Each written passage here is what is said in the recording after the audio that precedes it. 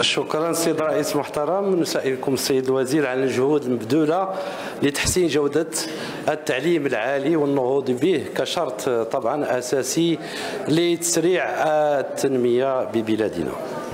شكرا سيد الرئيس. شكرا سيد النائب المحترم. كيف ما اشرت لها من قبل المخطط الوطني اللي عنده رؤية واضحة واللي ربما نقدر نقتصرها في التمكين ديال ديال الشباب ديالنا. وفي هذا الصدد تم تفعيل مجموعة من الإجراءات.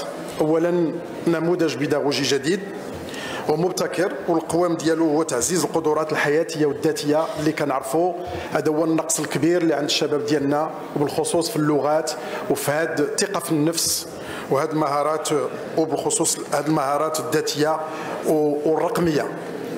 عملنا أيضا إدماج الأنشطة الموازية كالأنشطة الثقافية والرياضية والعمل التطوعي.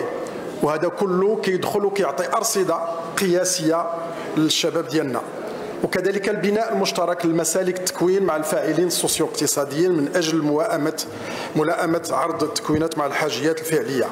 مأسسة نمط التعليم عن بعد كمكمل للتعليم الحضوري اللي ما كانش عندنا في في النظام ديال التعليم العالي.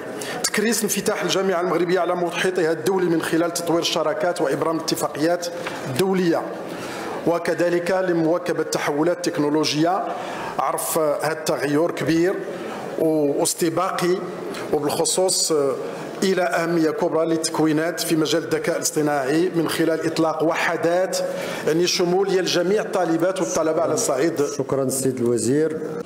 شكرا سيد الوزير. والحقيقة أن الارتقاء طبعا بجودة التعليم العالي مرتبط أساسا بجودة التكوينات ومدى طبعا تطور البحث العلمي والمعرفي. والواقع أن التكوين الجامعي اليوم لا يستجيب حقيقة لمتطلبات سوق الشغل وأكبر دليل اليوم هو نسبة البطالة اللي في هذه الفئة ديال خريجي جامعات اللي هي الحصة الكبيرة. وأيضا يجب أن نعترف أن الجامعة اليوم تفتقد لكثير من الإنتاج العلمي والمعرفي والابتكار والإبداع في طرق ومناهج التدريس وتأهيل العنصر البشري أيضا لابد من تعزيز طبعا مكانة الطالبه والطالب الجامعي في كل إصلاح. لأنه هو الدعامة الأساسية لهذه المنظومة. فلا إصلاح بدون تقوية الكفايات والكفاءات الأساسية آه، من طبعا مهارات تقنية من كفايات علمية وأيضا الكفاءات الناعمة كما جاء في جوابكم. وباعتبارها أيضا الكفيلة ب آه، يعني تسهيل الاندماج المجتمعي في هذه يعني الشريحه السيد الوزير تحفيز الاستاذ الباحث أيضا هو جزء من هذه المعادلة. هل سيتم إعفائهم من الضريبه شكرا, شكرا سيد النائب سيد الوزير المحترم آه، طبعا من أجل تجويد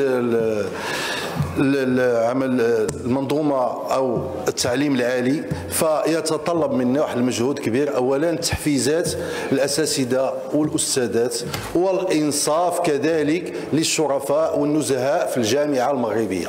وكذلك السيد الوزير حنا كنشوفوا واحد العديد ديال الشكايات واحد العديد ديال المقالات اللي كيخرجوا في الصحف الوطنية خصوصا على واحد العديد الجامعات على سبيل المثال جامعة عبد الملك السعدي ديال تطوان اللي مازال ما كنعرفوش المآل ديالها وهاد التفتيشيات اللي اللي كدار. فاحنا بغيناكم السيد الوزير المحترم من أجل النهوض بهذا بهذا القطاع هذا خص المحاسبة. شكرا.